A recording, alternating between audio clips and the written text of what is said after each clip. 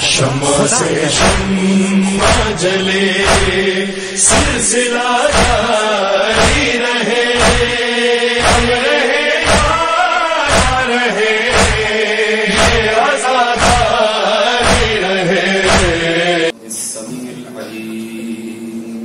الشيطان الرجيم بسم الله الرحمن الرحيم الحمد لله المعروف من غير رؤية والخالق من غير ربية. الذي لم يزل قائما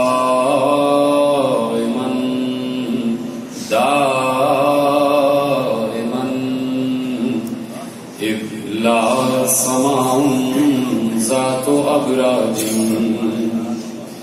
ولا ليل داج ولا بحر ساج ولا أرض ذات مهاد. ولا خلق ذو اعتماد. والصلاة والسلام والتحية والإكرام على نبي الرحمة وخازن المغفرة وقائد الخير والبركة ومنقذ العباد من الهلكة سيدنا ومولانا أبي القاسم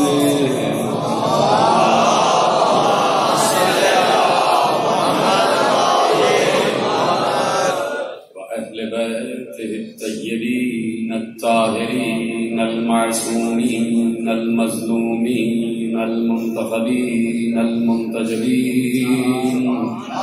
الذين أذهب الله عنهم الرجس وطهرهم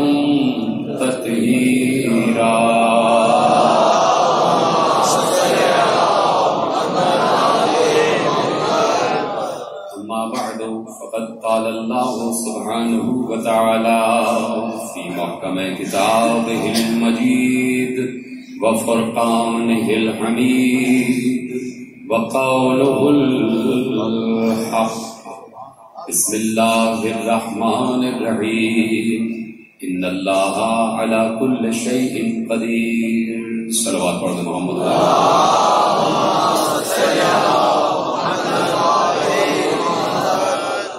پروردگار کا احسان عظیم ہے کہ اس نے ہمیں لا شریک ہوتے ہوئے اپنے ساتھ درود کی عبادت میں شریک کیا ہوا ہے۔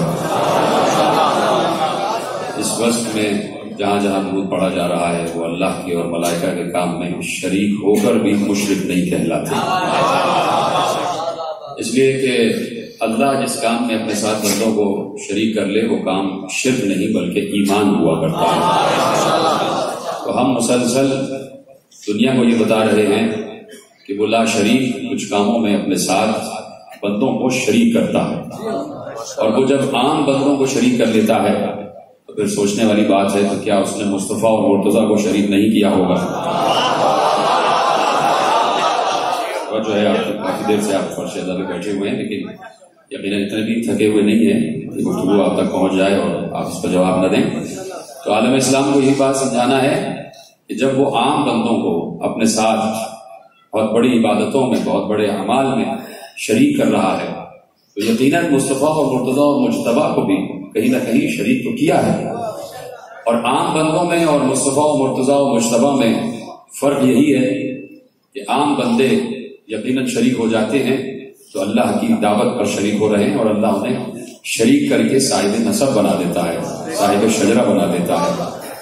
لیکن مصطفیٰ اور مرتضیٰ کو اللہ نے بعد میں شریک نہیں کیا، بلکہ یہ کہہ کے شریک کیا کہ جس وقت سے میں ہوں، اس وقت سے تم میرے نور کا حصہ ہو۔ بہت کم لوگوں نے میرا ساتھ دیا اس پر۔ اس لیے کہ اگر آپ کے پیش نگاہ یہ حدیث ہوتی کہ انا و علی من نور واحد، میں اور علی ایک نور سے ہیں، تو کب سے ہیں اس کا کوئی جواب لا دے۔ کہ کب سے انا و علی من نور واحد۔ میں اور علی ایک ہی نور سے ہیں۔ تو اب سوال یہ ہے کہ کب اس سے ہیں؟ تو اس کا جواب اللہ ہی دے سکتا ہے۔ لیکن اللہ آج تک کسی کے رابطے میں آیا نہیں ہے۔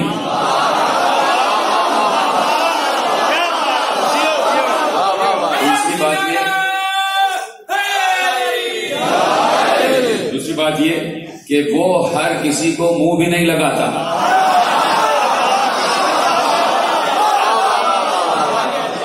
لیے اس کی وجہ بتاؤں کہ کس لیے منہ نہیں لگاتا۔ وجہ پہنچے گی تو آپ بتائیں گے کہ وجہ آپ تک پہنچ گئی۔ اللہ ہر کسی کو منہ نہیں لگاتا، اس لیے کہ بڑا مغرور ہے۔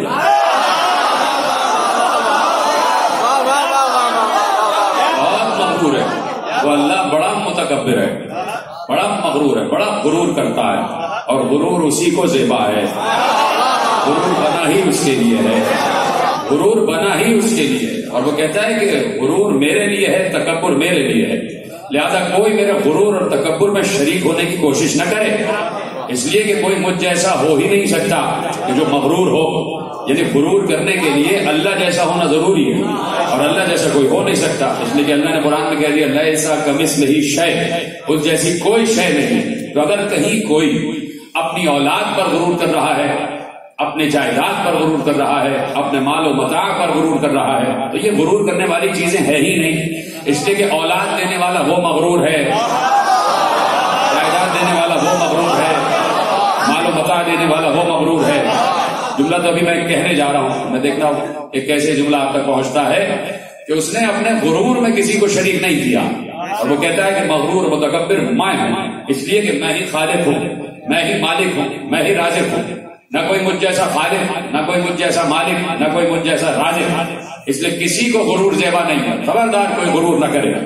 لیکن میں کیا کروں کہ میرے یہاں کے مقتدر علماء نے لکھا، اور میں پہلا لفظ کہوں گا اور پہنچ جائیں گے اتنا ذہین مجمع بیٹھا ہوا ہے کہ میں کیا کروں کہ میرے یہاں کے بڑے حسین اور مقتدر اور پڑھے لکھے علماء نے لکھا کہ ایک وقت، جس وقت علی امر ابن عبد بد کا سر کاٹ کے چلے اور علی کے ہاتھ میں امر کا ایک ہاتھ میں علی کے امر اپنے ابن عبد بد کا سر تھا اور دوسرے ہاتھ میں ذوالفقار تھی۔ ذوالفقار سے تازہ تازہ لہو بہ رہا تھا۔ تو دیکھنے والوں نے دیکھا کہ علی اس شان سے آ رہے تھے جیسے برستی ہوئی فوار میں کوئی شیر چلتا ہوا آتا ہے۔ اور علی کی علی کی چال عجیب چال ہو رہی تھی کہ کسی بڑے پڑھے لکھے یار نے اپنے نبی سے کہا کہ یا رسول اللہ، آج علی کی چال میں بڑا غرور ہے، بڑا تکبر ہے۔ تو پیغمبر نے کہا، آج علی کا یہ غرور مجھے بھی پسند ہے، اس مغرور کو بھی پسند ہے۔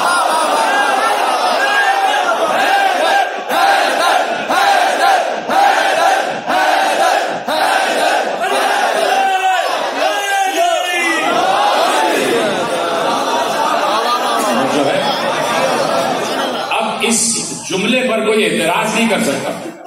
کوئی اعتراض نہیں کر سکتا۔ اگر کہیں یہ سمجھنے کی کوشش کی جائے، آج بڑی فکری باتیں میں نے سوچا آپ کے حوالے کروں، اگر آپ کی اجازت ہو۔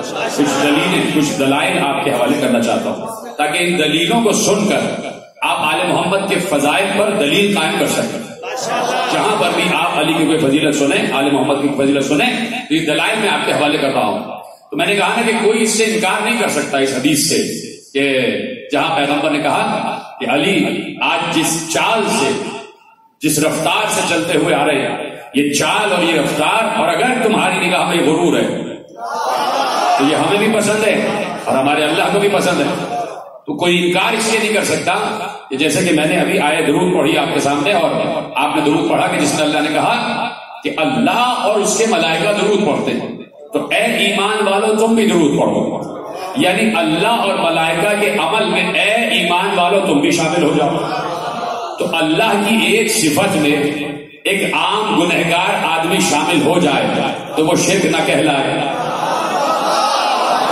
اور عام ابن عبد بد جیسے مشرق کا سر کاٹنے والا علی۔ اگر پیغمبر کہہ رہے ہیں کہ علی کی چال کا یہ غرور آج مجھے بھی پسند ہے اور اللہ کو بھی پسند ہے، تو اس میں کوئی شرک نہیں ہے۔ اس میں سمجھ میں نہ آنے والی بات کوئی نہیں۔ اس لیے کہ اللہ نے آیت رکھی ہے قرآن کریم میں اور وہ ہے ان اللہ علی کل شعین قدیم اللہ ہر شے پر قدرت رکھتا اجازت ہے کہ بات شروع کی جائے؟ اور جو ہے ان کو کہیں جانا کہیں جانا جائیے۔ پہلے کیوں نہیں چلے گئے؟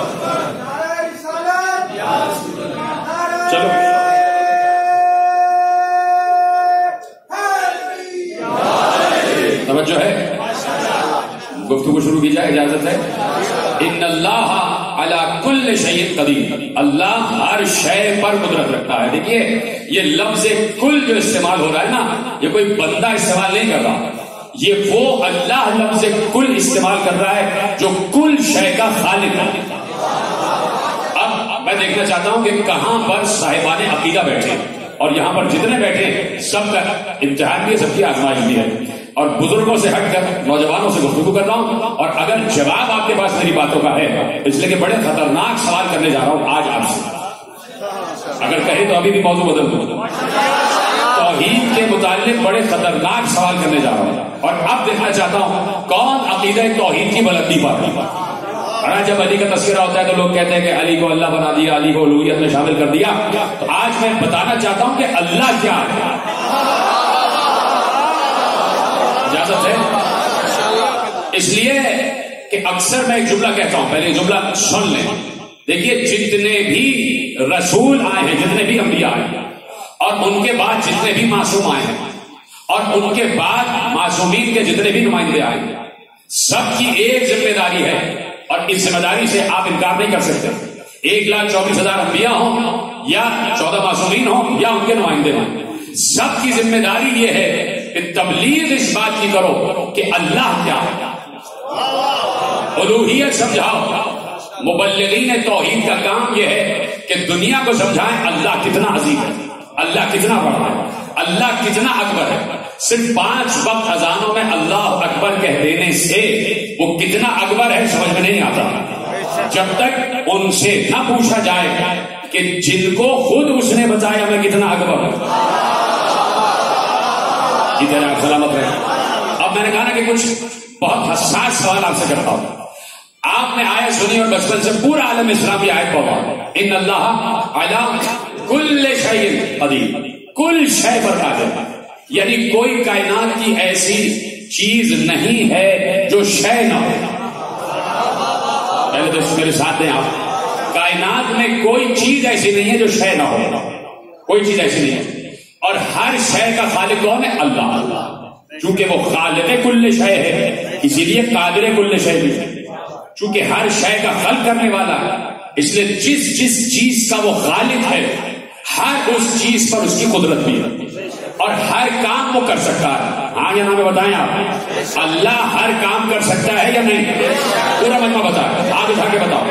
اللہ ہر کام کر سکتا ہے یا نہیں؟ کر سکتا ہے۔ اب یہ میرے سامنے بیٹھا ہے عالم ایمان۔ اور میں عالم ایمان سے گزارش کر رہا ہوں کہ وہ عالم اسلام سے ایک سوال کرے۔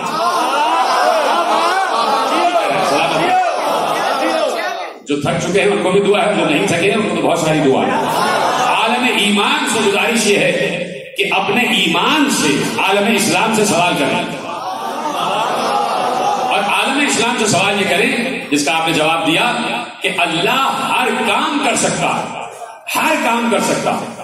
جواب آپ کے پاس موجود ہے۔ ان کی نمائندگی کرتے ہوئے آپ جواب دے دیجیے گا۔ سوال یہ ہے کہ اللہ کی قدرت ہے کہ وہ اس وقت اس وقت کسی بھی وجود کے ذریعے سے ظاہر ہو جائے۔ پوچھنا چاہتا ہوں، سوال کرنا چاہتا ہوں۔ دیکھیے، یہ وہ سوال ہے کہ بے شک کہنے والا بھی خطرے میں ہے۔ اور خاموش رہنے والا بھی خطرے میں ہے۔ نا عجیب سوال؟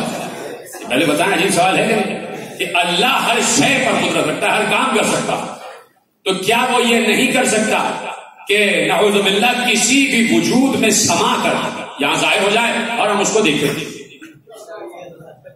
بہت کم لوگ۔ دیکھیں نا، آپ کو چونکہ ایسا خطرناک توحید بتا دی گئی ہے کہ ذرا ذرا سی بات پہ شرک ہو جاتا ہے، اس لیے آپ چپ ہو گئے۔ ہمارا اللہ اتنا سا نہیں ہے۔ کہ کوئی بندہ بھی اس کے مقابل آ جائے تو شرک ہو جائے۔ ہمارا اللہ تو اتنا عظیم ہے کہ علی بھی اس کے مقابل آ جائے تو اللہ اللہ ہی رہتا ہے علی جیسا عظیم وہ بھی علی علی بھی اللہ نہیں ہو سکتا تو اتنی سی باتوں پہ ہمارا شرک نہیں ہوتا۔ چونکہ ہم توحید سمجھانا جانتے بھی ہیں اور چاہتے بھی ہیں کہ توحید سمجھائی جائے۔ اس لیے بہت سے عجیب عجیب سوال کر کے دنیا کو سمجھانا چاہتے ہیں کہ توحید ہے کیا؟ ہے صرف یا اللہ یا اللہ کہہ دینے سے اللہ سمجھ میں نہیں آتا۔ اسی طرح ربی الاول میں یا رسول اللہ یا رسول اللہ کہہ دینے سے رسول اللہ بھی سمجھ میں نہیں آتا۔ اب سمجھنا پڑے گا کہ اللہ کیا ہے اور اس کی قدرت کیا ہے۔ آپ نے بہت سے لوگوں نے جواب دیا، بہت سے لوگ خاموش رہے۔ اس لیے کہ آپ کی نگاہ میں عقیدہ توحید ہے۔ اس لیے آپ چپ ہو گئے کہ ہمارے معصومین نے بتایا کہ وہ کسی شے میں حلول نہیں کرتا، کسی ذات میں سماتا نہیں ہے۔ اس لیے کہ جس میں سمائے گا وہ اس کی مخلوق ہوگی۔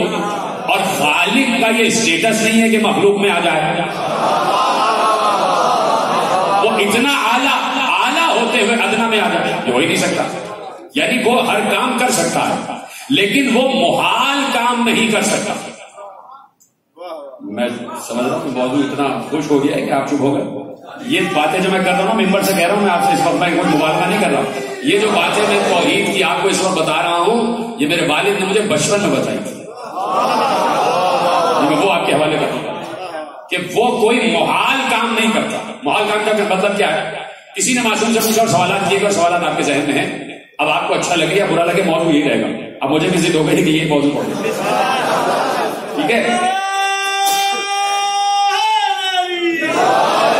محال کام بڑا مشہور سوال ہے میرے اماموں سے کیا گیا کہ فضل رسول یہ بتائیے کہ اللہ قادر ہے؟ انہوں نے کہا قادر ہے، بالکل قادر ہے، ہر شہر پر قدرت رکھتا ہے۔ کہا، کیا وہ اس شہر پر قدرت رکھتا ہے؟ ایک سوئی جو ہے، سوئی۔ سوئی کا سوراخ دیکھا آپ نے سوئی کا ناکا کہا، کیا اس سوئی کے ناکے میں سے اونٹ گزار سکتا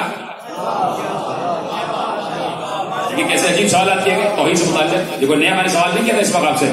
بہت پرانے پرانے سوالات ہوتے رہے، لیکن معصوم نے کیا جواب دیا؟ معصوم نے کسی سے سن کے جواب نہیں دیا۔ اس لیے کہ معصومین کو کسی نے، معصومین نے کسی سے پڑھا نہیں ہے کہ اللہ کون ہے۔ اللہ نے خود انہیں بتایا کہ میں کون ہوں۔ اور اگر ایسا نہیں ہے تو اس کا نام بتا دو کہ جسے مصطفیٰ نے بتایا ہو کہ اللہ کون ہے۔ کوئی مصطفیٰ کا استاد لا کے بتاؤ۔ یعنی اللہ براہ راست منتشف ہوا ہے۔ براہ راست ظہور کی منزل پر آیا۔ براہ راست عرفان کی منزل پر آیا۔ تو معصوم سے پوچھا گیا کہ کیا سوئی کے ناکے میں سے اللہ بہت بڑے اونٹ کو گزار سکتا ہے؟ مولانا نے کہا، دیکھو، قدرت کی جہاں تک بات ہے تو کام تو ہو سکتا ہے۔ لیکن اس کے لیے یا تو سوئی کے ناکے کو بہت بڑا ہونا پڑے گا یا اونٹ کو بہت چھوٹا ہونا پڑے گا۔ اس لیے کہ وہ یہ کام اپنے موچے سے تو کر سکتا ہے، لیکن یہ کام محال ہے اور محال کام اللہ نہیں کیا کرتا۔ جو سمجھ گیا تو میرا سلام۔ اس کو کہتے ہیں شریعت کی اصطلاح میں عقید توحید کی اصطلاح ہے، یہ محال۔ یہ بھی عقید توحید کی اصطلاح ہے۔ جیسے ایک اور اصطلاح ہے کہ وہ حلول نہیں کرتا۔ جیسے ایک اور اصطلاح ہے کہ وہ ایک عالم سے دوسرے عالم میں نہیں آتا۔ جیسے ایک اور اصطلاح ہے کہ وہ ایک کیفیت سے دوسری کیفیت میں نہیں آتا۔ لیکن بس دیکھیے آپ کے حوالے جملے ہو رہے ہیں کہ اس تقریر آگے بڑھ رہی ہے۔ ایک عالم سے دوسرے عالم میں نہیں آتا، ایک کیفیت سے دوسری کیفیت میں نہیں آتا۔ پھر بھی بندوں سے یہ چاہتا ہے کہ اسے پہچانے۔ تو پرور نگار تو ہمیں نظر تو آتا نہیں ہے۔ جبکہ تو ہر شے پر قدرت رکھتا ہے، تو ہم تجھے کیسے قادر مانے یہ ہے آج کا موضوع۔ کہ ہم تجھے کیسے قادر مانے ہر شے پر تیری قدرت ہے۔ تو خود آ کے ہمیں نہیں بتا رہا کہ تو ہر شے پر قدرت رکھتا ہے، تو کیسے؟ پروردگار خالق ہے اس زمین کا، پروردگار خالق ہے آسمانوں کا، پروردگار خالق ہے خلا و فضا کا، پروردگار خالق ہے سورج کا۔ پروردگار خالق ہے چاند کا پروردگار خالق ہے ستاروں کا پروردگار خالق ہے درختوں کا پروردگار خالق ہے بادلوں کا پروردگار خالق ہے بارشوں کا پروردگار خالق ہے انبیاء کا پروردگار خالق ہے رسولوں کا پروردگار خالق ہے ملائکہ کا پروردگار خالق ہے فرشتوں کا پروردگار خالق ہے عرش کا پروردگار خالق ہے قلم کا پروردگار خالق ہے لوح کا پروردگار خالق ہے کرسی کا پروردگار خالق ہے جنت کا پروردگار خالق ہے جہنم کا پروردگار خالق ہے ذرات زمین کا پروردگار خالق ہے، تمام اشیاء کا۔ اب جس جس شے کا وہ خالق ہے، ہر اس شے پر اس کی قدرت ہے کہ نہیں ہے۔ آدم کا بھی خالق، نوح کا بھی خالق، ابراہیم کا بھی خالق موسا کا بھی خالق، عیسیٰ کا بھی خالق، مصطفیٰ کا بھی خالق، مرتضیٰ کا بھی خالق، سب کا خالق اللہ۔ تو ہر شے پر اس کی قدرت۔ اور میں نے کہیں ایک سوال کیا اور شاید وہ کہیں یوٹیوب پر موجود ہے آپ کے حوالے سوال کرتا ہوں۔ اللہ ہر شے پر قدرت رکھتا ہے۔ تو اب آپ مجھے جوابات دیتے جائیے کہ اللہ کیا اس شے پر قدرت رکھتا ہے کہ ابو البشر حضرت آدم ابھی ابھی اٹھ کے ہمارے سامنے آ جاتا کیا اللہ اس شے پر قدرت رکھتا ہے کہ حضرت ابراہیم ہمیں دکھائی دے، ابھی یہاں تشریف لیا کیا اللہ اس شے پر قدرت رکھتا ہے کہ باہر سورج نہیں نکلا ہے، پھر بھی روشنی ہو جائے۔ کیا اللہ اس شہر پر قدرت رکھتا ہے کہ صبح سورج نکلے، پھر بھی اندھیرا ہو جائے؟ کیا اللہ اس شہر پر قدرت رکھتا ہے کہ بادل نہ ہو، پھر بھی برسات ہو جائے؟ کیا اللہ اس شہر پر قدرت رکھتا ہے کہ جس ملک کو جہاں چاہے اس کے فرائض پر معمول کر دے؟ آپ جواب ہی نہیں دے رہے؟ ابھی آپ بولیں گے، ابھی تو جو نہیں بول رہے وہ بولیں گے۔ میں نے پوچھا کہ اللہ اس شے پر قدرت رکھتا ہے کہ حضرت آدم آ جائیں، آپ نے آہستہ سے کہا۔ میں نے کہا، اللہ اس شے پر قدرت رکھتا ہے کہ حضرت ابراہیم آ جائیں، آپ نے آہستہ سے کہا۔ میں نے پوچھا کہ اللہ اس شے پر قدرت رکھتا ہے کہ سورج نہ ہو پھر بھی روشنی ہو جائے۔ آپ نے آہستہ سے آ کہا میں نے آپ سے سوال کیا کہ صبح سورج نکل آئے اور پھر بھی روشنی نہ ہو۔ آپ نے آہستہ سے جواب دیا۔ میں نے آپ سے پوچھا، کیا اللہ اس شے پر قدرت رکھتا ہے کہ بادل نہ ہو پھر بھی بارش ہو جائے؟ آپ نے آہستہ سے جواب دیا۔ میں نے کہا، آپ سے سوال کیا کہ کیا اللہ اس شے پر قدرت رکھتا ہے کہ فرشتوں کو ان کے فرائض پر معمول کرے؟ آپ نے آہستہ سے جواب دیا۔ اب آپ آہستہ سے جواب نہیں دیں گے۔ کیا اللہ اس شے پر قدرت رکھتا ہے کہ جو سورج اصل سے مشرق سے نکلے اور مغرب میں ڈوب جائے، اللہ مغرب میں ڈوبے ہوئے سورج کو واپس پلٹا سکتا جواب دینا سارے پیچھے تو بیٹھے۔ اللہ کی قدرت ہے۔ مانتے اس بات کو؟ بے شک کہہ دیجیے کیونکہ خالق سورج کا اللہ ہے نا۔ کیا اللہ، کیونکہ چاند کا خالق ہے۔ کیا اللہ اس شہر پر قدرت رکھتا ہے کہ وہ چاند کو حکم دے؟ چاند دو ٹکڑے ہو جائے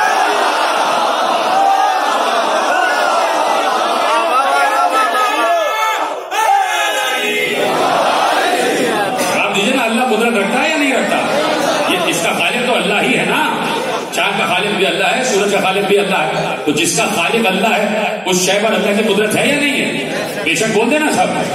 تو آپ نے کہا ہاں اللہ کی قدرت ہے کہ ڈوبے ہوئے سورج کو واپس پلٹا سکتا ہے۔ اس لیے کہ سورج اللہ کی مخلوق ہے۔ آپ نے کہا، اللہ کی قدرت ہے کہ اللہ چاند کو دو ٹکڑے کر سکتا ہے۔ اس لیے کہ چاند بھی اللہ کی مخلوق ہے۔ اللہ کی مخلوق یہ ستارے ہیں اور ایک ایک ستارہ اتنا بڑا ہے کہ اس میں سو سو زمینیں سما جائیں سو سو زمینیں سما جائیں ابھی ایسا نے ایک ریسرچ کی ہے کہ یہاں سے کروڑوں میل دور ایک ستارہ ہے جو ان کی نگاہ میں حفظ رہتا ہے۔ تو وہاں پر چونسٹھ سورج چمکتے ہیں۔ اس سیارے میں چونسٹھ سورج چمکتے ہیں۔ تب جا کے وہ سیارہ روشن ہوتا ہے۔ یہاں زمین اتنی سی ہے، ایک سورج سے ہی چمک جاتی ہے۔ اتنی سی زمین میں رہ کے اس اللہ کو سمجھنا چاہتے ہو؟ اتنی سی زمین میں رہتے اور اس اللہ کو سمجھنا چاہتے ہیں انہوں نے کہا کہ وہ چونسٹھ سورج چمک رہے تھے اور ابھی ابھی انہوں نے کہا کہ کچھ دن ہوئے پینسٹواں سورج اور طلوع ہوا ہے وہاں۔ ایک سیارہ ہے، اتنا بڑا جس سے اتنی بڑی ہے وہ زمین کہ جہاں چونسٹھ اور پینسٹھ سورج چمکتے ہیں، تب جا کے وہ زمین روشن ہوتی ہے۔ اللہ کی قدرت ہے کہ نہیں؟ تو یہ ستارے بھی اللہ کے مخلوق ہے نا؟ تو اللہ کی قدرت ہے کہ ڈوبے ہوئے سورج کو واپس پلٹا دے ہے یا نہیں؟ اللہ کی قدرت ہے کہ چاند کو دو ٹکڑے کر دے، ہے یا نہیں؟ اللہ کی قدرت ہے کہ اتنے بڑے ستاروں کو چاہے تو اتنا سا چھوٹا سا بنا کے کسی گھر کا تباہ کروا دے۔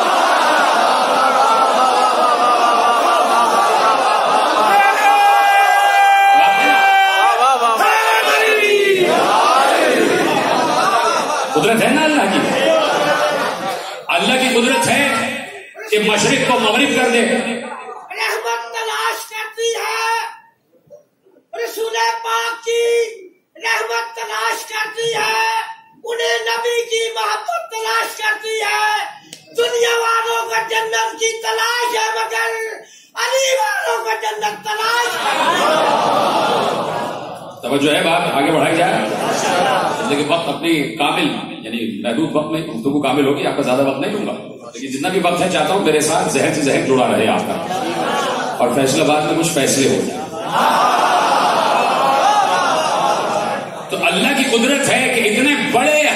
والے ستارے چھوٹا سا بنا کے کسی گھر کا طواف کروا دے؟ ہے کہ نہیں؟ بتائیے ہاں نہیں؟ اللہ کی قدرت ہے کہ مشرق کو مغرب بنا دے، مغرب کو مشرق بنا دے۔ اللہ کی قدرت ہے یا نہیں؟ تو اب یہ سارے کام سورج کو پلٹانا اللہ کا کام ہے۔ چاند کو دو ٹکڑے کرنا اللہ کا کام اس لیے چاند کا خالق اللہ، سورج کا خالق اللہ۔ ستارے کو زمین پر اتارنا اللہ کا کام ہے۔ اس لیے ستارہ کا خالق بھی اللہ کہیں مجھے کوئی بھولی بھٹکی روایت دکھا دو کہ اللہ نے آ کے سورج پلٹایا ہو، اللہ نے چاند دو ٹکڑے کیا ہو، اللہ نے ستارہ اتارا ہو۔ کام اللہ کا ہے۔ کام اللہ کا ہے۔ بولیے ہاں۔ لیکن اللہ نے نہیں کیا۔ اللہ نے نہیں کیا۔ جس کے ذریعے سے ہو رہا ہے، اس کے لیے اللہ نے کہا۔ کہ اللہ الذي خلق سبع سماوات ومن الارض مثلهن يتنزل الامر بينهن لتعلموا ان الله على كل شيء قدير اللہ وہ ہے کہ جو ہر زمین اور آسمان کے درمیان امر اتارتا ہے اور امر اول الامر پر اترتا ہے اور اول الامر کی ذمہ داری ہے کہ ثابت کرے کہ اللہ ہر شے پر قدرت ہے جتنا آپ سلامت رہیے پیچھے تک لوگ بیٹھے انہوں نے میرا ساتھ دیا خدا شکر ہے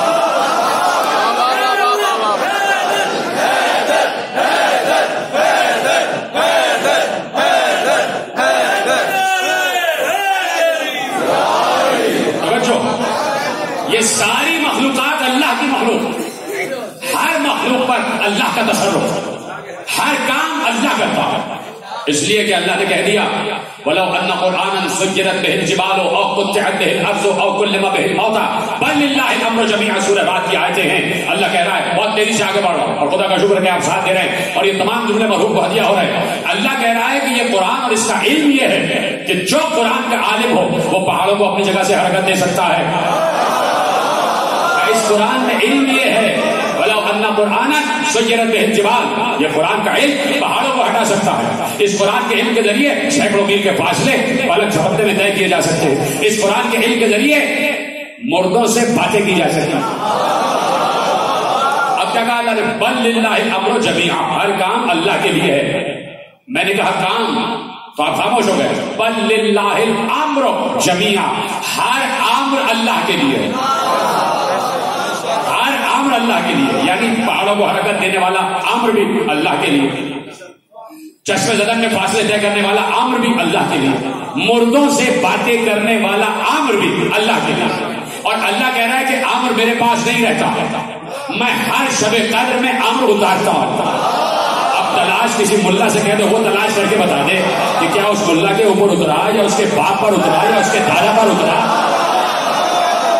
کس پر امر اتر رہا کس پر امر اتر رہا کسی ملا پر اتر رہا ملا تو اتنا فراڈیا ہے۔ آج کا مولوی ملا اتنا فراڈیا ہے، دین سے فراڈ کرتا ہے اور پوری امت کو فراڈ کر کے اسے پریشان کیا ہوا ہے۔ امت سے کہتا ہے، کہو، یا اللہ مدد، یا اللہ مدد، یا اللہ مدد۔ اللہ کے علاوہ کسی سے مدد نہ مانگو۔ اور تین دن سے سڑکوں پہ نکل رہا ہے، کہتے ہوئے، یا عوام مدد، یا عوام مدد، یا عوام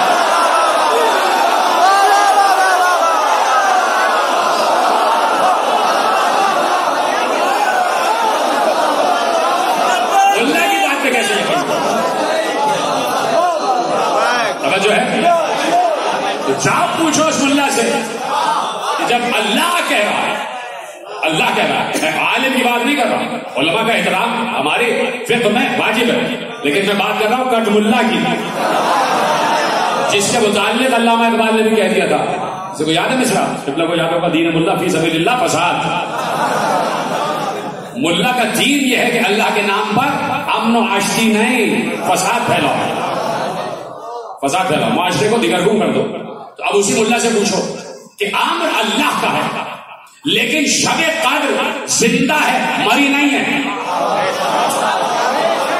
اے لیلت القادر سورہ قادر انا انزلناہ فی لیلت القادر یہ سورہ زندہ ہے یا نہیں؟ قیامت تک رہے گا یا نہیں؟ تو اب قیامت تک لہرت القدر بھی رہے گی۔ جب قیامت تک لہرت القدر رہے گی، تو ہر لہرت القدر میں امر بھی نازل ہوگا۔ قیامت تک کوئی نہ کوئی اول الامر بھی تو ہونا چاہیے نا۔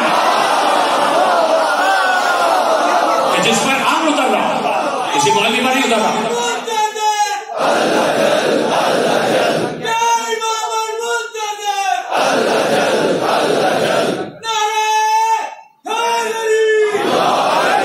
ہے نا میں آپ کے دعائیں کہہ رہا ہوں، جیسے آپ اس مشکل موضوع کو سن رہے ہیں، خدا آپ کی معرفت میں اور اضافہ فرمائے۔ کہ اب اولے آم چونکہ قیامت تک شب قدر ہے اور قیامت تک نزول عمر ہے۔ تو قیامت تک عام اتر رہا ہے۔ تو میں نے پھر کہا کہ کسی ملا کیا امام کعبہ تک پر نہیں اتر رہا۔ اگر کسی مولوی پر امر خدا اترتا تو آج یہ اپنے حجرے میں بیٹھا ہوتا اور اسے پتا ہوتا کہ اللہ نے میری قسمت میں اقتدار لکھا ہے یا نہیں۔ کہتے گیا اگر کسی مولوی پر امر خدا اتر رہا ہوتا تو اسے اللہ کی مرضی کا معلوم ہوتا۔ اسے پتہ ہی نہیں ہے کہ وزیر اعظم استعفیٰ دے گا یا نہیں۔ اگر پر امر اتر رہا تھا۔ تو بتا دیتا کہ اس سال وزیر اعظم رہے گا یا نہیں؟ اس لیے کہ امر میں تو یہ بھی اترتا ہے۔ کون عوام رہے گا؟ کون بادشاہ بنے گا؟ امر میں ہر چیز اترتی ہے۔ انسانوں کی قسمتوں کے فیصلے اترتے ہیں، مخلوقات کی۔ ہر ہر تقدیر کا فیصلہ اترتا ہے۔ چھوٹی سے چھوٹی چونٹی کا بھی فیصلہ اترتا ہے کہ یہ چونٹی کتنے دن زندہ رہے گی، کتنے دانے کھائے گی۔ نہیں فرمایا یہاں تک کہ مجلس اعلیٰ میں کون کس مقام پر بیٹھے گا؟ اپنی طرف سے نہیں کہہ رہا میرے عزیز۔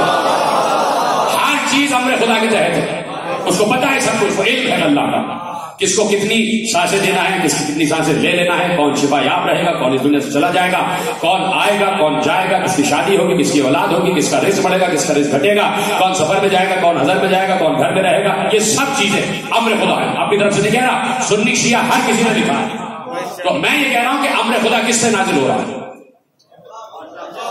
نازل تو ہو رہا ہے نا۔ نزول کی منزل پر۔ ہے اور اللہ کہہ رہا ہر کام، ہر امر میرے لیے ہے۔ اور ہر امر اللہ کے لیے ہے۔ تو کوئی نہ کوئی صاحب امر ہے کہ جس تک نزول امر ہو رہا ہے، جس تک نزول امر ہو رہا ہے۔ ابھی تو جب تک آ ہی نہیں ہے۔ یا جتنی بھی قدرت کی اشیاء ہیں، سب پر اختیار ہے اللہ کا۔ اور اللہ نے سورج پلٹا کے نہیں دکھایا۔ اللہ کے ایک منتخب بندے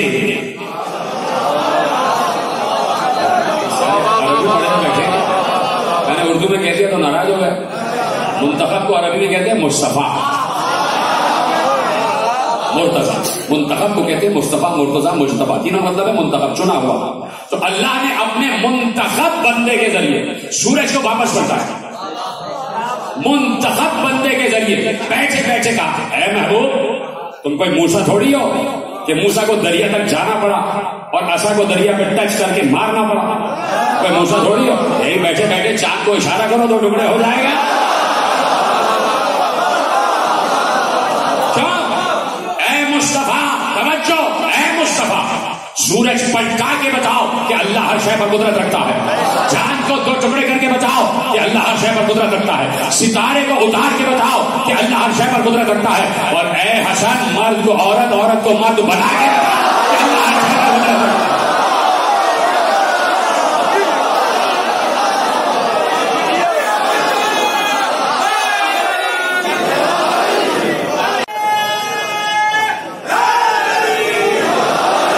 جو بھی علی کا دوست ہے وہ رحمت ہوتا ہے جو بھی علی کا دوست ہے وہ رحمت ہوتا ہے دشمن حیدر چلتی پھرتی لانت ہوتا ہے قول نبی ہے مرد علی ہے بس ہوا یہ ثابت علی کا دشمن داڑھی والی عورت ہوتا ہے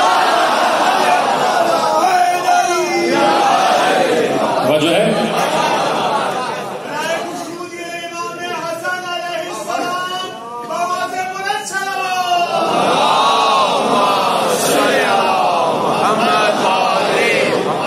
مچھلی باتیں آپ کو نوجوان دوستوں کو میرے پہنچ رہی نا باتیں بزرگوں سے بہتر جانتے ہیں بزرگوں سے میں خطاب ہی نہیں کرتا ان سے دعا لینے کے لیے بیٹھا ہوا ہوں تو اللہ کہہ رہا ہے کہ کام تم کرو ہمارے حزب سے لیکن چونکہ تم ولی عامر ہو اور ہم نے تمہیں عامر کا اختیار دیا اس وقت سے دیا جب تم شب ہجرت ہم ہمارے محبوب کے بستر پر سوئے ہم نے تمہیں اپنی مرضی کا مالک بنا دیا اور ہم ایسا نہیں ہے کہ بغیر سوچے سمجھے اپنی مرضی کسی کو دے دیں ہم نے تمہیں اس قابل جانا ہے کہ ہماری مرضی کو ویسے ہی استعمال کرو گے جیسے ہماری مرضی۔ تب مطلب۔ ہم نے تم سے سودا کیا تب ہم نے تم سے ٹریڈ کی تب ہم نے تم سے بزنس کیا تب تم سے تجارت کی۔ وہ اور ہے کہ جو بندے بندوں سے تجارت کرتے۔ ایک بندہ ہے جو اللہ سے تجارت کر رہا ہے اور برابر کی تجارت ہو رہی ہے۔ اس لیے کہ برابر کا سودا ہونا چاہیے۔ جب چیز کا انتقال منتقل ہو رہی ہے چیز کے بدلے میں چیز تو ایسا نہیں ہے کہ آلو سو روپے کے دے دیے جائے اور ٹماٹر پچاس کا دے دیا جائے۔ جتنے کے آلو ہیں، اتنے کے ٹماٹر۔ برابر کا سودا ہونا چاہیے۔ یہ میرا جملہ نہیں ہے، یہ علماء تفسیر کا جملہ ہے جو میں آپ کے حوالے کر رہا ہوں۔ کہ چیز کے بدلے میں چیز، یہ بھی ایک ٹریڈ ہے۔ اور چیز کے بدلے میں پیسہ ہے، یہ ایک ٹریڈ ہے۔ چیز دی، چیز لے لی، یہ بھی ایک تجارت ہے۔ تو اگر پیسے سے لے رہے ہو چیز، تو پیسہ بھی برابر کا ہونا چاہیے کہ جتنے کی ہے اتنا پیسہ لیا جائے۔ زیادہ لوگ گنہگار ہو جاؤ گے اسی کو پیغمبر نے منع کیا۔ کہ جتنا سودا ہو، اتنا ہی پیسہ لو اسی طرح جب پارٹنر سسٹم ہوتا ہے، چیز کے بدلے میں چیز دی جاتی ہے، تو برابر کا سودا ہوتا ہے۔ ایک ٹن آلو ہے، تو وہاں سے ایک ٹن ٹماٹر آئے گا۔ مثال دے رہا ہوں برابر کا سودا ہونا چاہیے۔ کوئی سویا نبی کے بستر۔ پر نبی کے برابر میں نہیں۔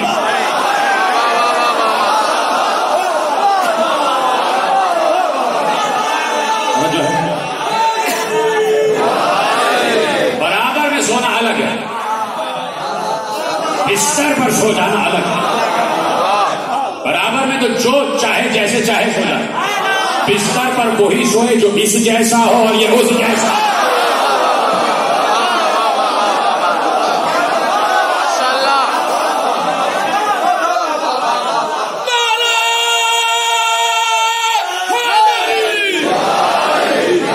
یہ تو فرما رہے نا آپ شیشہ دل شیشہ دل صاف ہو تو شفا ملتی ہے شیشہ دل صاف ہو تو شفا ملتی ہے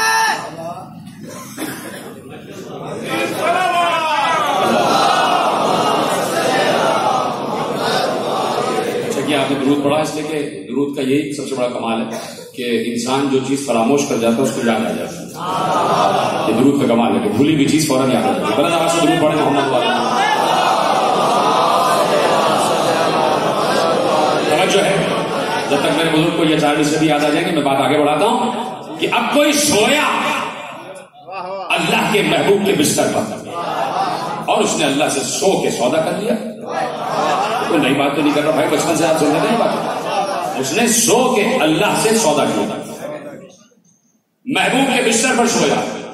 اس لیے اور بھی پیارا لگ رہا تھا۔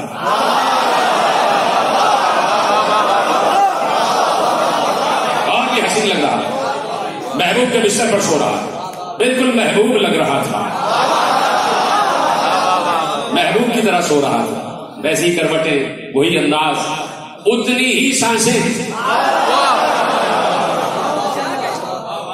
رات کے جس پہر نبی جو کروٹ لیتے تھے، اس پہر اس سے بھی وہی کروٹ لی تاکہ کہیں بھی کافروں کو گمان نہ ہو جائے کہ یہ وہ نہیں ہے۔ اب اب سو کے اللہ کی مرضی لی یا نہیں۔ چاہوں تو پوری شب ہجرت پوری تقریر ہو جائے، لیکن یہ تو آپ بچپن سے سن رہے ہیں۔ علی سوئے۔ اور اللہ نے کہا وہ من الناس من یشری نفسه ابتغاء مرضات اللہ واللہ رؤوف بالعباد. انسانوں ہی میں ہے بھائی، کچھ انسان ایسے اللہ کہہ رہا ہے۔ انسانوں ہی میں انسان ایسے کہ جو سو کر اللہ سے تجارت کرتے اور برابر کی تجارت کرتے اپنا نفس اللہ کو دیتے ہیں، اس کی مرضی خود لے لیتے ہیں۔ تو دنیا کو یہی چودہ سو برس سے سمجھانے کی کوشش کر رہے ہیں کہ علی کا نفس اور مرضی خدا برابر ہے۔ ابھی تو سودا ہوا ہے۔ اگر علی کا نفس ذرا سا بھی مرضی خدا سے کم ہوتا، تو اللہ کبھی بھی سودا نہ کرتا۔ برابر، نفس علی اور مرضی خدا برابر۔ تو اللہ نے کہہ دیا کہ ہم نے تو تمہیں اس وقت سے اپنی مرضی کا مالک بنا دیا۔ اس لیے تمہیں اپنی مرضی کا مالک بنایا کہ ہم بھی تو اپنی مرضی سے اپنی خلق کی ہوئی جس شے کو چاہیں، جیسے چاہیں استعمال کریں۔ اب ہماری مرضی تو تمہارے پاس ہے۔ آپ کی ختم ہو گئی جو میرا اللہ سمجھ گیا، اس کو میرا سلام جو میں نے بولا نہیں، اس میں دعا ہے۔ کہ ہماری مرضی تو تمہارے پاس، ہم نے اپنی مرضی تمہیں دے دی۔ لیکن ایسا نہیں ہے کہ اللہ کے پاس مرضی ختم ہو گئی۔ ایسا نہیں ہے۔ یہ ہمارا عقیدہ نہیں کہ مثلا میں آپ کو نالج دے رہا ہوں نالج تو میں نے آپ کو دے دی تو اس کا مطلب یہ نہیں کہ میرے پاس ختم ہو گئی۔ مادی شہ تھوڑی ہے کہ میں نے تصویر آپ کو دے دی تو میرے پاس نہیں۔ ایسا نہیں ہے۔ مرضی خدا۔ مرضی خدا اللہ دے رہا ہے علی کو، اپنی مرضی۔ تو گئے علی کو نہیں دیے اس نے ہر علی ہم کو اپنی مرضی دے دی۔ اور مرضی کیسی، کس لیے؟ پھر مرضی کا استعمال کیا؟ یہی بات میں نے کہی تھی نا کہ آج آپ کو کچھ باتیں سمجھاتا ہوں۔ پھر اس مرضی کا استعمال کیا؟ کیوں دے دی مرضی؟ بھائی، کوئی مجھے تصویر دے۔ تو اس لیے نا کہ میں پڑھوں۔ رکھ کے جیب میں رکھ لینی تھوڑی۔ اور میں نے تصویر کی اور جیب میں رکھی۔ صاحب، یہ کیا کیا آپ نے؟ اس سے اچھا مجھے ہی میں ہی پڑھ رہا تھا۔ سمجھ رہے ہیں نہیں سمجھ رہے اللہ نے علی کو مرضی دی ہے، تو کسی صندوق میں بند کرنے کے لیے تھوڑی دی ہے۔ استعمال کے لیے دی ہے نا۔ آپ علی مرضی استعمال کر رہے ہیں، سورج کو پلٹا رہے ہیں، مردے کو زندہ کر رہے ہیں، زندہ کی نماز جنازہ بڑھا رہے ہیں۔ حسن مشتبہ عورت کو مرد بنا رہے ہیں، مرد کو عورت بنا رہے ہیں۔ کیوں؟ اللہ کی مرضی۔ اور اللہ نے اپنی مرضی کا مالک بنایا ہی اس لیے، تاکہ تم دنیا میں یہ ثابت کرو کہ ہم ہر شہر پر قدرت رکھتے ہیں۔ اللہ نے دے دیا جو کچھ دینا تھا، اس کے پاس کم نہیں ہوا۔ سارا کنفیوژن اس وقت ہوتا ہے کہ جب مولوی یہ سمجھتا ہے کہ جب علی کے بدائے پڑھے جاتے ہیں کہ اللہ نے علی کو یہ دیا یہ دیا یہ دیا، تو یہ سمجھ رہا ہوتا ہے کہ پڑھنے والا یہ کہتا ہے کہ اللہ کے پاس کچھ نہیں رہا۔ یہ مولوی کی کچ بحثی ہے، یہ اس کی کم عقلی ہے۔ یہ باتیں کہنے کی نہیں ہوتی انڈرسٹوڈ ہوتی۔ یہ باتیں خود سمجھنے کی ہوتی کہ اللہ کے پاس کمی نہیں ہوتی، کسی خزانے کی مثال تو آپ کو اسی مثال پر، آپ کی ذہانت کا امتحان ہے۔ سب کا امتحان لینے جا رہا ہوں، مثال دے رہا ہوں۔ اگر مثال تک آپ پہنچ گئے تو آپ کے لیے دعا ہی دعا ہے۔ اور یہ تقریر آتے باہر میں مڑ جائے گی۔ اب اس کے بعد مجھے دو تین تقریر اور شہر میں بعد میں کرنا ہے، آپ کو پتا ہوگا، انشاءاللہ تشریف لائیں گے۔ تو اب مثال دے رہا ہوں۔ مثال کیا ہے؟ مثال یہ ہے کہ کوئی کروڑ پتی آدمی ہے جس نے حلال کا پیسہ کمایا اس کی بات کر رہا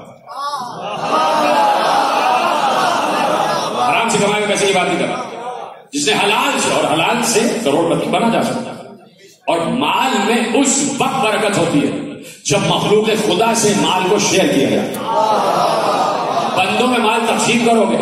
تم ان کو دو گے، وہ تمہیں دے گا۔ مال میں اضافہ ہوگا تو اگر کوئی کروڑ پتی آدمی ہے، بہت شریف النفس آدمی متقی پرہیزگار جس نے حلال سے پیسہ کمایا۔ اور وہ یہ چاہتا ہے کہ میں مخلوق خدا کی مدد کروں۔ تو اس نے اپنا ایک مینیجر جو بنایا، اس کو کہا کہ بھائی، یہ لو، یہ بیس لاکھ روپے جو تمہیں دے دیں یہ اس مد میں ہے۔ جو بھی مستحق آئے، اس کی جو بھی ضرورت ہو، تم اس کے حساب سے اس کو دے دینا۔ یہ بیس لاکھ روپے اسی امداد کی مد میں۔ دے دیے بھائی۔ اب کوئی بیچارہ سائل آیا، فقیر آیا اور وہ ان صاحب کے پاس پہنچ گئے ان کروڑ پتی کے پاس۔ کہ بھائی مجھے ضرورت ہے، میری بیٹی کی شادی ہے، یہ ہے، وہ ہے۔ کہیں گے کہ بھائی میں نے یہ سارے اس مد کے پیسے نا، وہ مینیجر صاحب کو دیں گے آپ ان سے لے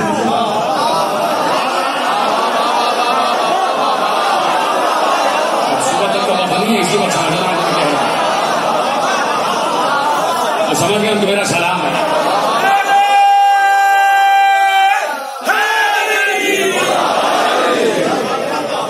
توجہ فرما رہے نا ابھی میں نے جو بھی امداد کی مد میں ضرورت مندوں کے لیے وہ بیس لاکھ اپنے مینیجر کو دے دی۔ آپ ان سے لے لیجیے اور اگر اس سائل کو یہ پتا ہے کہ مینیجر کے پاس میرا پیسہ رکھا ہے اور پھر وہ اس کروڑ پتی کے پاس پہنچ جائے کتنا احمد ہے؟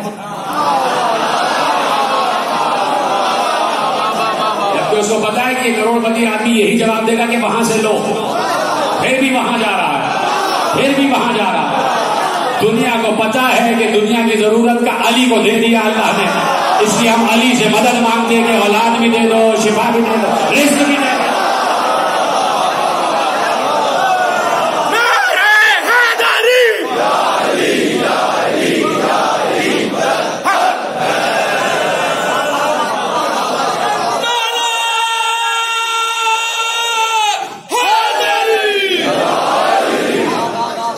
لیکن نا میں چاہتا تو ابھی کس سے کہانیاں سنا دیتا آپ کو معجزات بھی سنا دیتا واقعات بھی سنا دیتا، جو مجھے بھی یاد ہے لیکن کس سے کہانیاں آپ دوسروں سے سن لیا کریں۔ ان کس سے کہانیوں کی دلیل مجھ سے سنا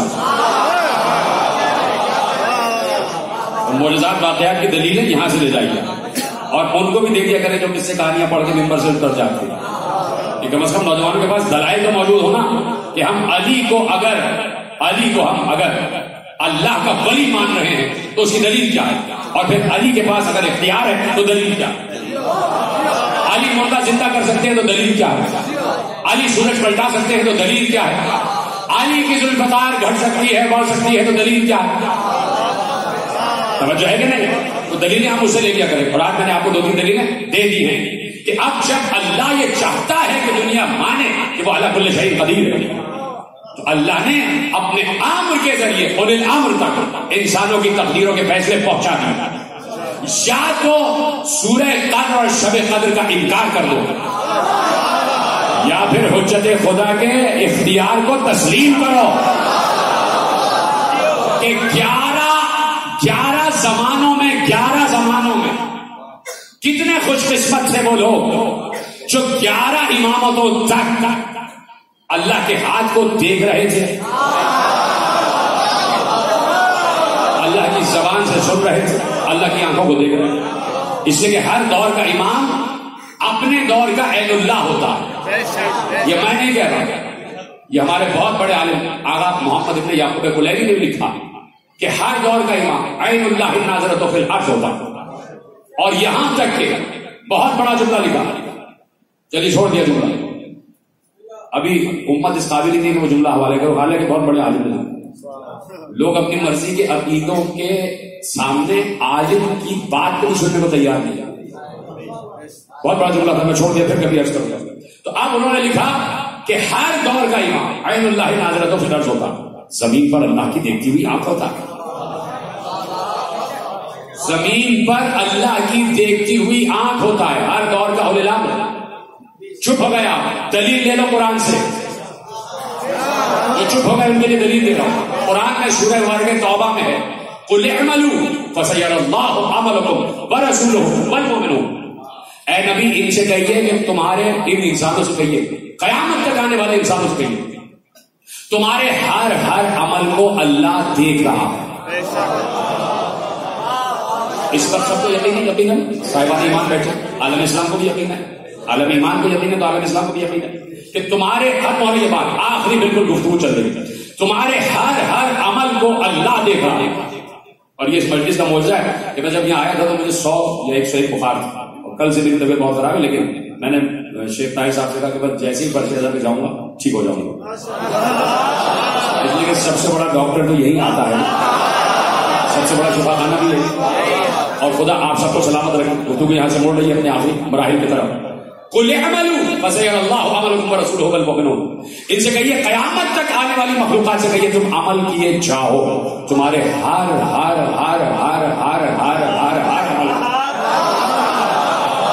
سب کچھ کہہ دیا ہر ہر عمل کو اللہ دیکھ رہا ہے. پھر کہا، نہ صرف یہ کہ اللہ دیکھ رہا ہے، بلکہ اس کا رسول بھی دیکھ رہا ہے. کہیں شاید نہیں ہے کہ جو تم رسول کے سامنے کرتے ہو، وہ رسول دیکھتا ہے. جیسے اللہ دیکھ رہا ہے، ویسے ہی رسول بھی دیکھ رہا ہے۔ یعنی ہر ہر ہر ہر عمل کو جیسے اللہ دیکھ رہا ہے، ویسے اس کا رسول بھی دیکھ رہا ہے۔ اور تمہارے ہر ہر ہر ہر ہر ہر ہر ہر عمل کو جیسے اللہ دیکھ رہا ہے، ویسے رسول دیکھ رہا ہے، ویسے ہی مومنین بھی دیکھ رہے ہیں۔ تو یہ مومنون کون ہے کہ جو اللہ اور رسول کی طرح دیکھ رہے ہیں۔ کیا میں اور تم؟ یہ سڑکوں پہ نکلا ہوا مولوی؟ کون ہے مومنون؟ کہ جو انسانوں کے ہر عمل کو ویسے ہی دیکھ رہا ہے جیسے اللہ اور اس کا رسول دیکھ رہا ہے۔ کون ہے مومن اسی لیے آج محمد نے بتایا کہ مومنون سے مراد ہر عہد کا امام۔ ہر عہد کا امام بھی ویسے ہی دیکھتا ہے جیسے اللہ اور اس کا رسول دیکھتا ہے۔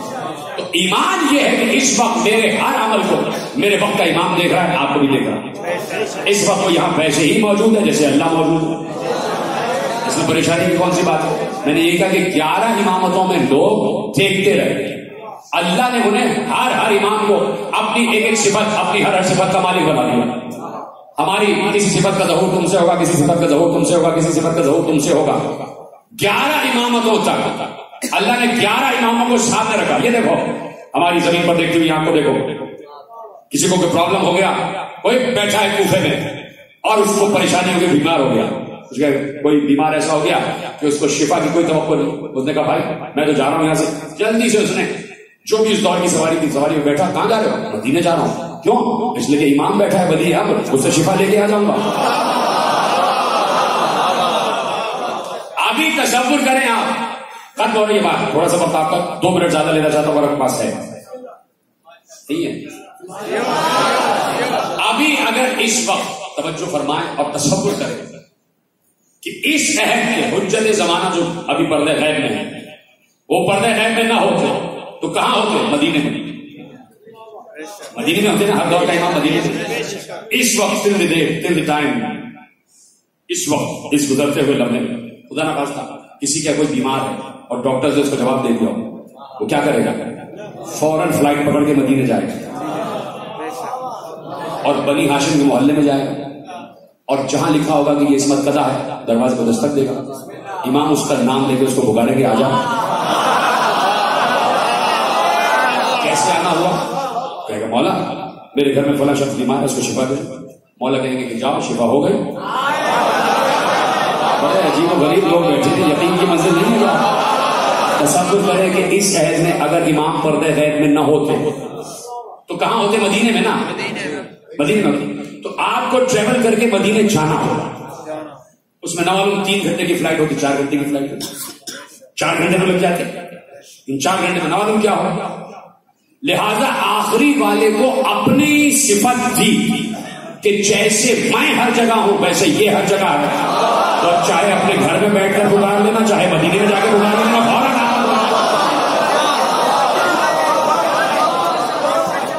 یہ ضروری نہیں ہے کہ اس عہد میں گیارہ اماموں کے پاس یہ صفت نہیں تھی، سب کے پاس۔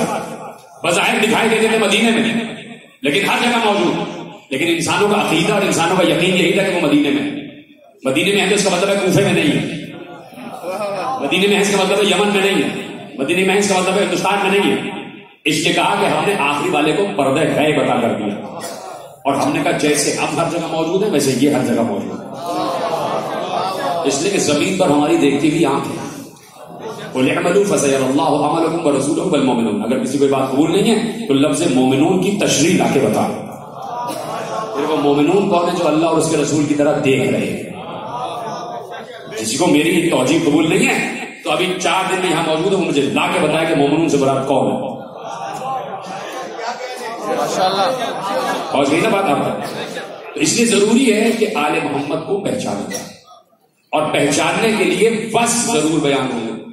فرسٹ اس لیے بیان ہوتے ہیں، صفتیں اس لیے بیان ہوتی ہیں تاکہ ان کے ذریعے سے اللہ پہچانا جائے آپ اگر کوئی علی کے فضائل سن کر کلیدی جملہ دے رہا ہوں، جس کے لیے زحمت تھی، جہاں سے بات شروع کی تھی، وہیں واپس پلٹ رہی ہے۔ آپ اگر کوئی علی کے فضائل سن کر، کوئی کج عقیدہ، کوئی کم عقیدہ، کہہ رہا ہے کہ بھائی علی کو آپ نے اللہ بنا دیا، اللہ بنا دیا، اللہ بنا دیا، علی کو اللہ بنا دیا، تو اس میں فضائل علی کا قصور نہیں ہے۔ اس میں اس مولوی کا قصور ہے کہ وہ یہ نہ سمجھا سکا کہ اللہ کتنا بڑا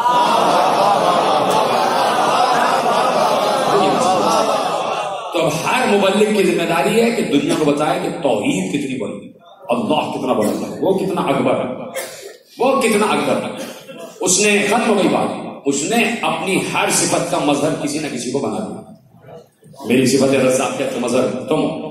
میری صفت قریبی کا مظہر تم ہو۔ میری صفت رحیمی کا مظہر تم ہو۔ میری صفت خلاقیت کا مظہر تم ہو۔ یعنی جناب عیشا تک کو کہہ دیا کہ میں نے اپنی صفت خلاقیت کا مظہر تمہیں بنا دیا۔ جناب ابراہیم کو اپنی صفت رزاقیت کا مظہر بنا دیا۔ کہ جناب ابراہیم، جب تک کوئی ساتھ نہ آ جائے، بغیر بیٹھے کھانا نہیں کھاتے۔ یعنی ہر کسی کو اپنی اپنی کسی صفت کا مظہر بنا دیا۔ تو وہ یہ چاہتا تھا کہ صحیح مشکات میں حدیث لکھی ہے کہ ان اللہ جمیل یحب الجمال۔ اللہ حسین ہے اور حسن کو پسند کرتا ہے تو وہ یہ چاہتا تھا کہ میرے کوئی میرے حسن کا بھی تو مظہر ہو۔ کوئی میرے حسن کا بھی تو مظہر ہو۔ اس نے کہا، میرے حسن کا مظہر ہے مصطفیٰ۔ میرے حسن کا مظہر ہے مصطفیٰ۔ اب مسئلہ یہ ہے کہ مصطفیٰ اتنے حسین اتنے حسین کہ مصطفیٰ کا حسن شراکت میں آ گیا۔ یعنی اللہ بھی مصطفیٰ سے اتنی ہی محبت کرتا ہے جتنا حسین اپنے نانا سے محبت کرتا ہے۔ اب کیا ہو گئی شرکت۔ مصطفیٰ کا حسن شراکت دار ہو گیا۔ وہاں آسمانوں پہ اللہ مصطفیٰ سے محبت کر رہا ہے۔ اس لیے کہ مصطفیٰ کو اپنے حسن کا مظہر قرار دیا۔ گویا حسین مصطفیٰ سے محبت نہیں کر رہے، حسن خدا سے محبت کر رہے۔ مسئلہ تو یہ آ گیا کہ دونوں محبت کر رہے۔ دونوں محبت کر رہے تو اس لیے اللہ نے فیصلہ یہ کر دیا کہ ایک شبی بناؤں گا اپنے مصطفیٰ کی ایک شبی بناؤں گا اپنے مصطفیٰ کے حسین میں۔ اے حسین، طے ہو گیا کہ اگر اصل زمین پہ رہے گا تو شبی میرے پاس۔ اور اگر اصل کو آسمان میں بلاؤں گا تو شبی تمہارے پاس۔ تو جیسے ہی مصطفیٰ کو اللہ نے آسمانوں پہ بلایا، حسین کی گود میں علی اکبر کو ڈال دیا کہ لو، شبی تمہارے پاس آ گیا اب دونوں محبت محبوب میں محبت مصطفیٰ اطمینان سے۔ ادھر مصطفیٰ اور ادھر شبی ہے مصطفیٰ۔ ادھر علی اکبر۔ تو اگر بتانا چاہتے تھے وہ اکبر کتنا حسین ہے، تو حسن اکبر کا تذکرہ تو کرنا پڑے گا۔ بتانا پڑے گا کہ جس گھر کا ایک پلا ہوا بچہ اتنا حسین ہے، تو اس جوان کا خالق اللہ کتنا حسین ہو جس کا کوئی چہرہ نہیں ہے، پھر بھی حسین ہے۔